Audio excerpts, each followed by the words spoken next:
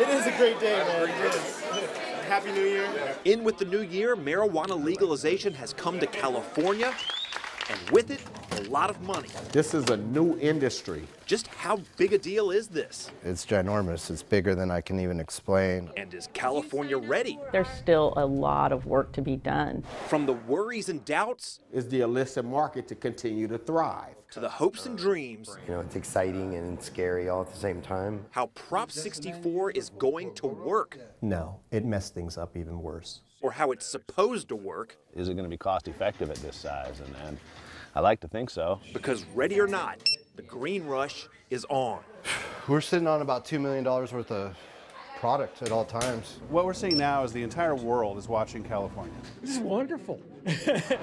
Good evening, Happy New Year, and thank you for being with us as we take stock of this landmark day for California and the country. This is history in the making, and it all started this morning. Yes, the big headline adults 21 and older can now buy marijuana for recreational use, but beyond the novelty and genuine historical significance of today's sales, there is just so much more to this.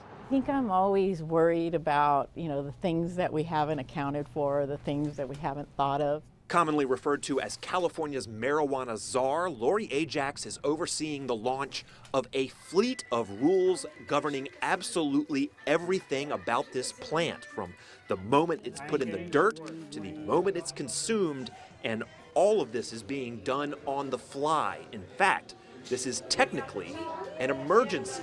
We had to have our regulations finalized, so the statute allowed us to have uh, emergency regulations in place. So now that California has fired up the legalized market, what happens next comes down to a few burning questions. We can't issue a license um, at the state level if it's going to violate a city or county ordinance. Question one Cities and counties get to choose their own destiny, so who and how many will say yes?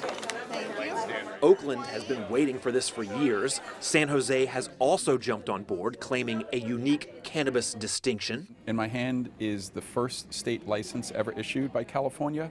And then there's San Francisco, where a bitter fight at City Hall created a delay in the permitting process. We're looking at the 5th at the absolute earliest from the way I understand it. We're ready. Uh, we're just waiting on everybody else. But the rest of the Bay Area will begin the year largely dry or with a grab bag of assorted laws. And a good example of this is Sonoma County. Uh, only two cities allow for adult use. Those two cities, Sebastopol and Cotati, while right across the street in Rohnert Park, city leaders have banned all sales. And while the county also won't allow sales, it will allow cultivation. But there is more to this economy than just growing and selling. So this is a sour diesel. This is kind of the lighter terpenes that come off early with less temperature. Just within the city limits of Santa Rosa, Dennis Hunter has built the largest cannabis manufacturing operation in the United States. So this one is an Emerald Cup um, brand. Really, if you are consuming a marijuana concentrate right now, it was very likely produced at CannaCraft, and legalization, obviously, is good news here. It's the end of us looking over our shoulder, um, wondering if uh, our doors are going to get kicked in. But Hunter is not convinced it will mean a flood of new customers. I definitely think we're going to see more, but um, I don't think it'll be like fivefold. And that's question number two. Just what kind of marijuana appetite does the state have? Is there really a large group of Californians ready to start using marijuana now that it's legal? And will customers want something good or something cheap? Generally, we're letting people know that they can expect 10 to 30 percent higher prices with the with the taxes.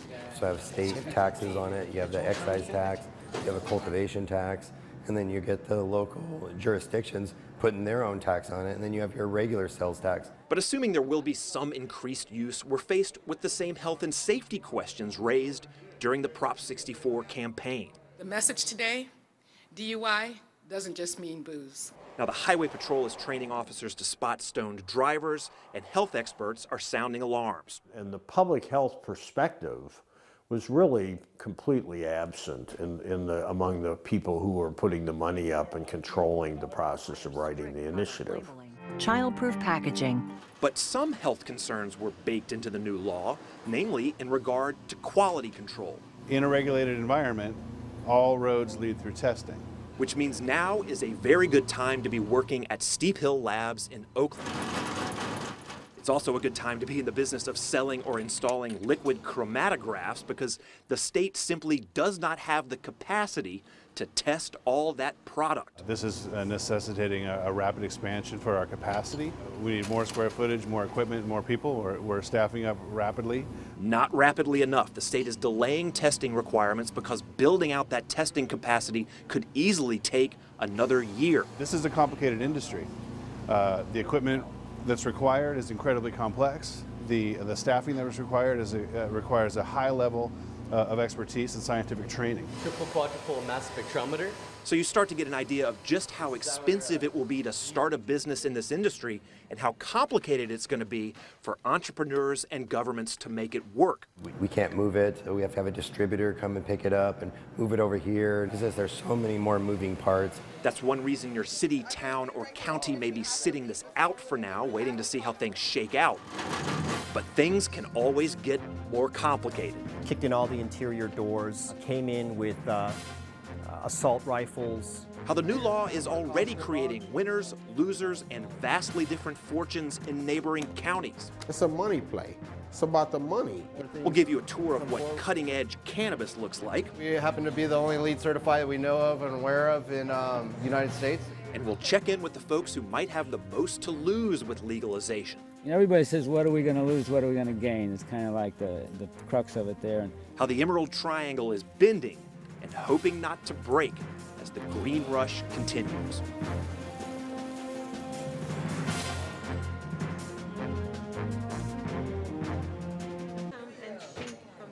You're ready to go. We're ready to go. Uh, we were issued our adult recreational use license yesterday, so crazy last minute stuff for us. So we've looked at how the new law is supposed to work, how an industry is racing to adapt and expand, and how the Bay Area is slowly moving in to this green rush. But for a deeper dive into how California's new laws are creating some turbulent waters, let's head south to a city that is diving right in you know, it's all moving so fast that it's kind of like, uh, I don't know, it's like paddling out on a big day. It's 10 foot overhead. That big wave analogy is Adam Knopf's way of describing his ride at Golden State Greens. Yeah, we, we see about six, 800 people a day. Back of house, just as epic.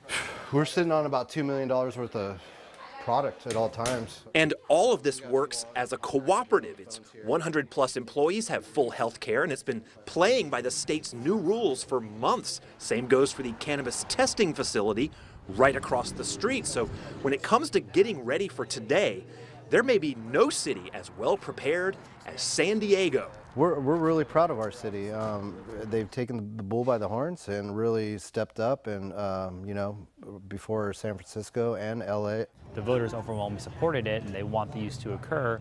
Let's figure out a way to, to make it work because it's going to happen nonetheless. City Council member Chris Cate knows there will be challenges, but he says the best option given the tide of the industry was get on board. I think we have, and I think the I think the reason we we we are trying to do that is because we want to be innovative, and we understand that there's going to be give and take, especially with how to regulate this business moving forward. For the fact that we've never done it before. So, who helped craft San Diego's cutting-edge cannabis laws?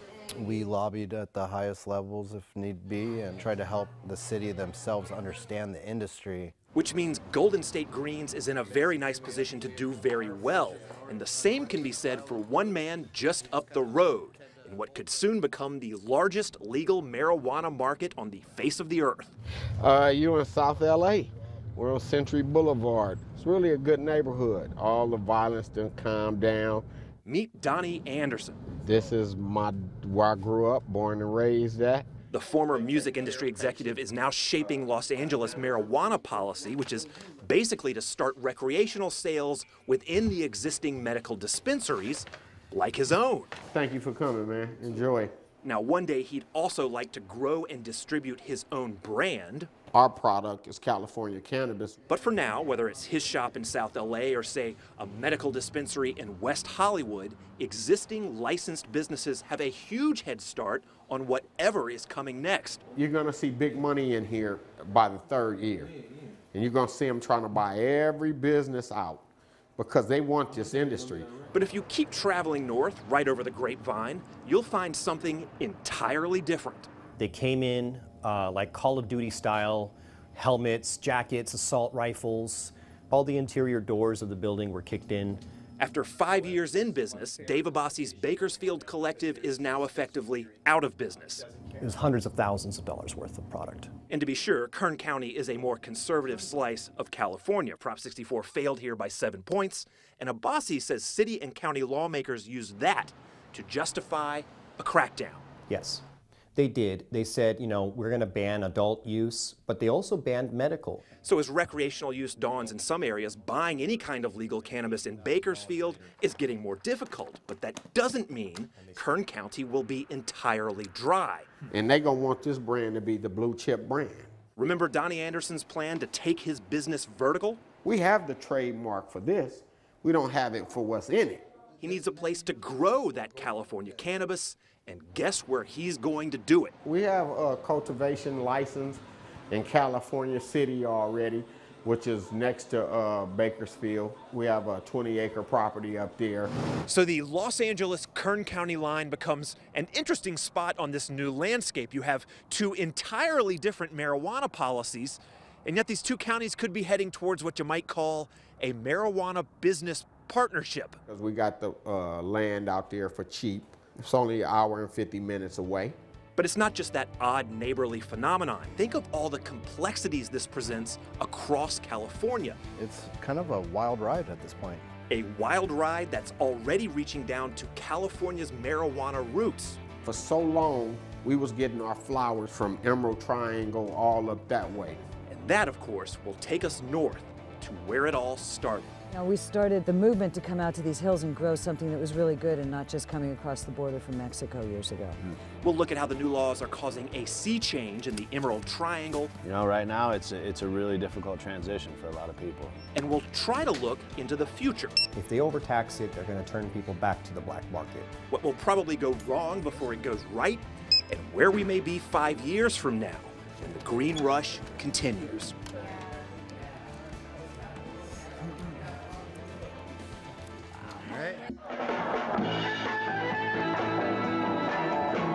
Worth noting that California has a long, colorful history with marijuana. Today's big change, just the latest chapter in that story. But what is going to happen to the men and women who really started this revolution back when it meant risking a prison sentence? A lot's going to change for sure. But the one thing that I really hope that we don't lose, especially up here in the hills where it's the home of cannabis in America, is um, the, the vibe. Deep in the hills that protected this industry for generations, growing marijuana now means something no farmer wants to deal with. You know, nobody ever became a farmer because they wanted to do paperwork. We're no longer a couple of old hippies living in the mountains growing pot, you know? It's like, well, we still are, but and now, you know, people have investors and boards and responsibilities to that. And so it's just a whole new different ballgame. Nikki and Swami of Swami Select and Casey O'Neill of Happy Day Farms, a couple small, above board medicinal growers I've been following for years, and they'll tell you legalization has not come easy. The regulations are very complex. There's a lot of different layers to them. There's a lot of requirements. The plants they grow in the summer, well, they have to be packaged by a licensed distributor, moved by a licensed transporter, and meet countless other requirements that fall under some 11 different state and local agencies, and that is already driving people out of the business. Around July or August, we started hearing from people that have been growing for many years saying, We've done the math, it's over, we can't afford it, it doesn't make any sense. Now, some farmers will just retreat deeper into the woods, but others will give up altogether, and that raises an even larger concern here the fate of communities that now depend on these small farmers. You know, on the individual level, obviously, it's very important for me to see this work if I'm going to be successful, but on the sort of more societal level, it's like, you know, this is this is a, a fulcrum that drives uh, rural economies a lot of the time, and so we need to make sure that we get this right.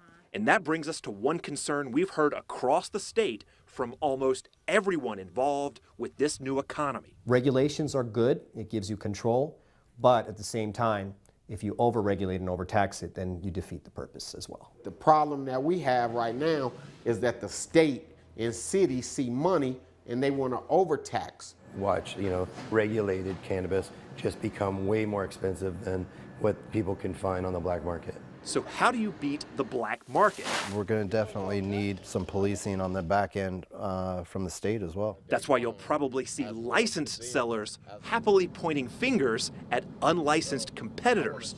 KML right here, Wellness Center, unlicensed shop, and they're everywhere. Not only could the high price of doing legal business fuel the black market, it could also make this an exclusive industry for players with a lot more capital. I know multiple companies that's already vested in this, big, big boys that's already invested. They just under the table. So even among those trying to make a go of this industry, there are doubts. I think over the next year, you're going to see some changes. I think you're going to see us even looking at our regulations and maybe looking at making some changes on things that don't work. And you're probably going to see some legislation uh, coming out this next year. The first year likely to be a little chaotic, but eventually things should settle down.